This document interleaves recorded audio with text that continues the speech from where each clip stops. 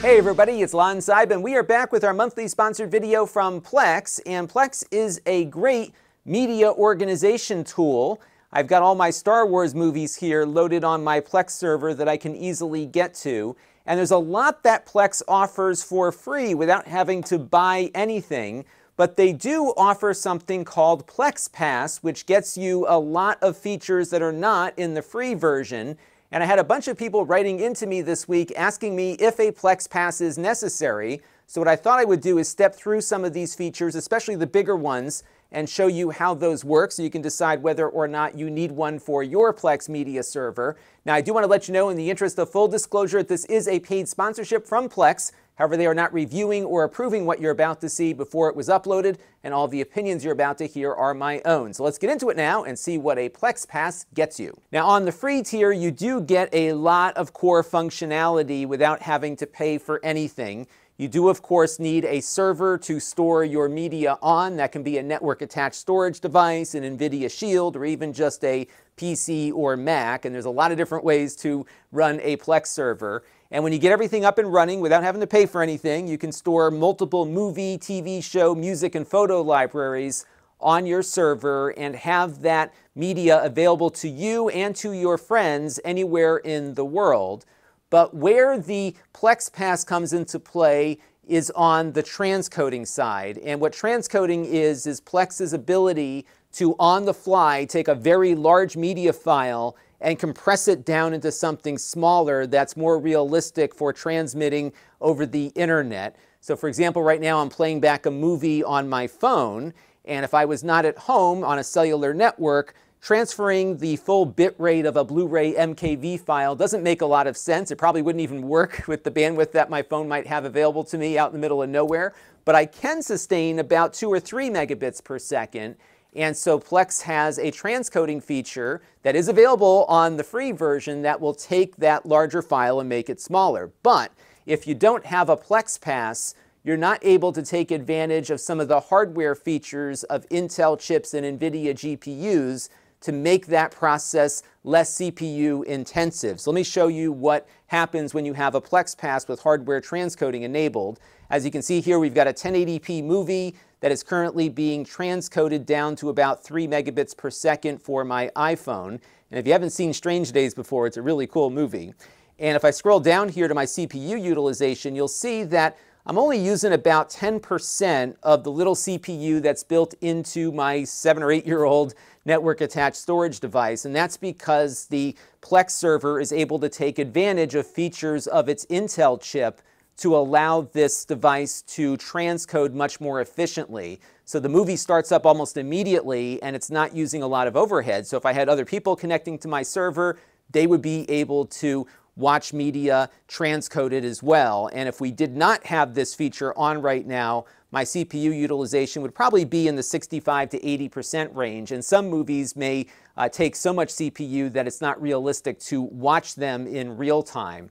So hardware transcoding can make a huge difference, and this is a Plex Pass feature. We've done a lot of content on hardware transcoding in the past, so definitely check out the master playlist to see more about it. There are a couple of exceptions to this, though. So if you have an NVIDIA Shield, that will do hardware transcoding without a Plex Pass subscription.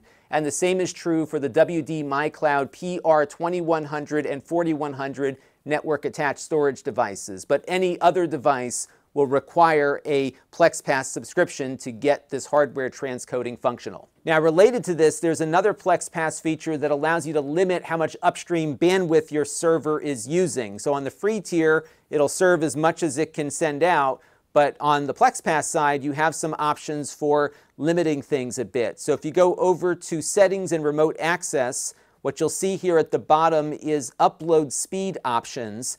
So you can set a maximum upload speed for the server so you don't exceed a certain amount of bandwidth. And you also have the ability to limit individual streams to a particular bit rate. And this might be really useful if you're on a cable connection and don't have a lot of upstream bandwidth to spare. You can limit everybody to 3 megabits per second, and that's it. And that's a great way to keep your uh, upload speeds under control. Now on the free tier, you can't control what things users have access to within a library. It's all or nothing. On the Plex Pass tier, there are much more granular adjustments you can make. So right now I have two friends that have access to my library. And if I click into my test account here and go over to restrictions, you can see the sorts of things that you can limit uh, your users from doing. So for example, on movies, I could maybe have it only make G-rated movies available. If I have a kid watching, I can also limit by ratings and labels and other things. I can also limit people's ability to download movies onto their own Plex clients. And then of course, uh, offer different types of restrictions for TV shows and music. Again, this is on the Plex Pass side only. The free tier is all or nothing. Now you can manage multiple servers under your PlexPass account and your users do not need a PlexPass in order to gain access to the PlexPass features that your servers offer, but your users would need a PlexPass to get those features on their own server. Additionally, if you have a PlexPass account, you get free access to the Plex mobile apps that run on iOS and Android, and that includes the tablet versions of those apps as well. Now, without a Plex Pass, you have to activate the Plex mobile app to enable personal media server streaming. Now, the Plex app without that activation will work with the content that Plex offers for free through their streaming channels, but the stream from your server or from somebody else's, you will need to pay for activation if you are not a Plex Pass user. It should be noted, though, that you do not have to activate the apps on televisions. This is only for mobile phone and tablet apps. Now, on the mobile side, you will see the option to download media for offline viewing if you're connecting to a Plex server that is attached to a Plex Pass account. Without Plex Pass, you can only stream media in real time, not download it. Now, if you have a Plex Pass, you get access to additional mobile apps. One of my favorites is called Plex Amp, and this is a dedicated music player for your Plex Media library. We covered this app already in depth, so definitely check out my video about that. But it's got a lot of cool visualizations here, and it's just a better way, I think, to access your music on the go. Additionally, they have a server management app called Plex Dash, and you can log in and get real-time access to what your server is up to. You can scan your libraries and do some basic management tasks here without having to take out your web browser. Now, PlexPass also sprinkles additional features into the different media types that it supports. And if we take a look at my Star Wars movies here, you'll see that I have two different editions of The Empire Strikes Back. I've got the original one here, which I have called despecialized in my library. And this is a feature that allows you to declare a particular file as a unique edition of a movie and give you two separate entries. Without this feature on a regular non-PlexPass account, it would merge these two files together, but now you can separate them. And we did a video about this last month. So that's a really useful thing that a lot of people were quite excited about, at least from my comment stream. Another feature that you get as a PlexPass user is a lot of extras added to the mix. So for example, it has a bunch of trailers and other things that are associated with this movie that are served from Plex's servers but are attached to this listing that I have on my personal media server.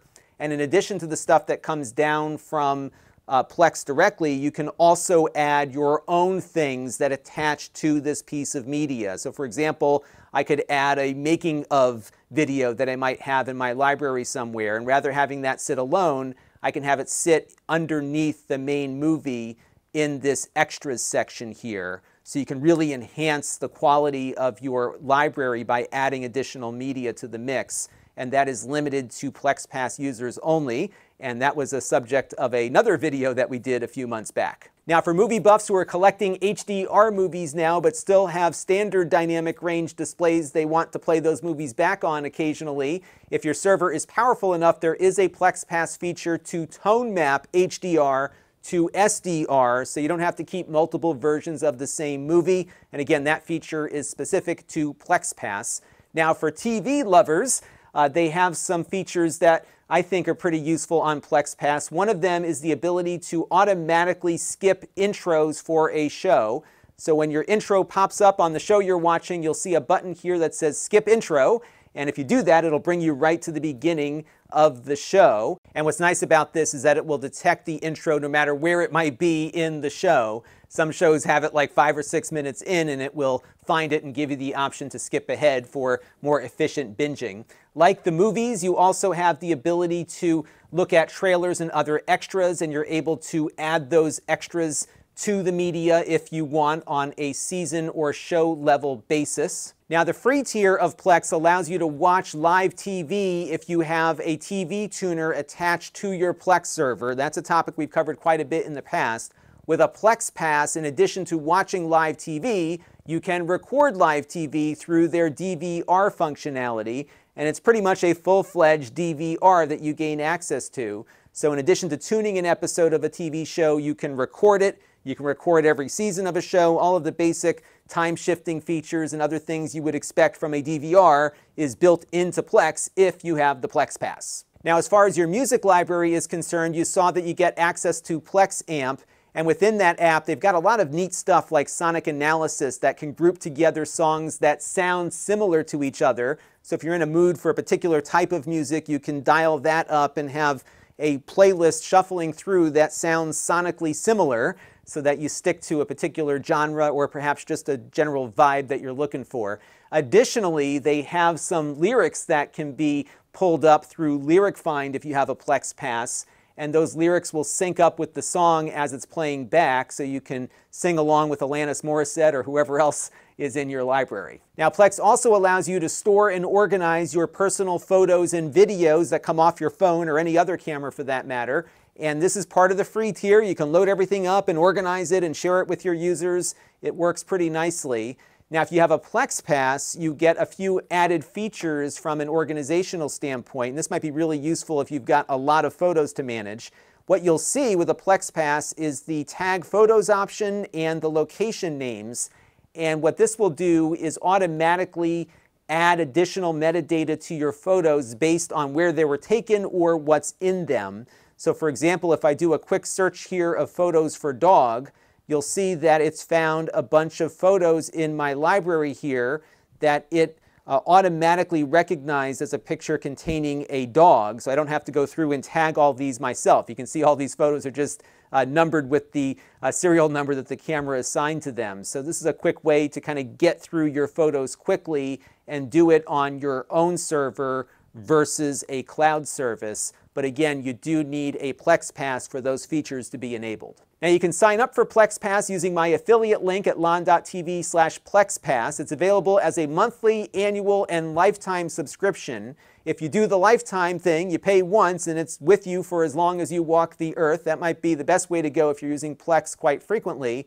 But of course, the monthly option is a good way to try it out to see if those features are of use to you. I'm also going to put a link in the video description to the support article here that details all of the Plex Pass features, and this gets updated whenever they add something new.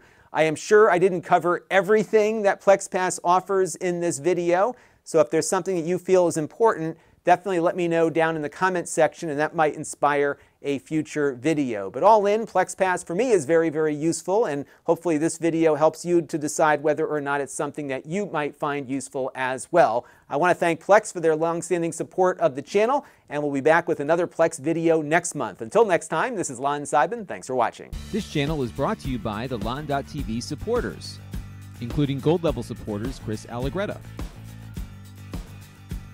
Brian Parker, Hot Sauce and Video Games, Baby Metal Fox God, Tom Albrecht, Amda Brown, Matt Zagaya, and Tech Time with Eric. If you want to help the channel, you can by contributing as little as a dollar a month.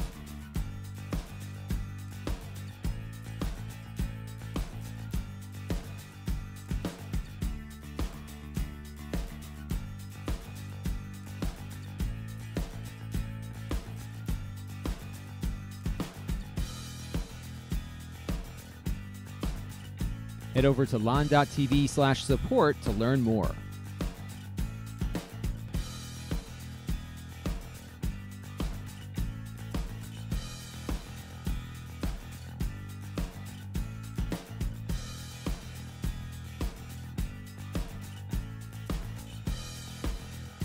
And don't forget to subscribe. Visit lon.tv slash S.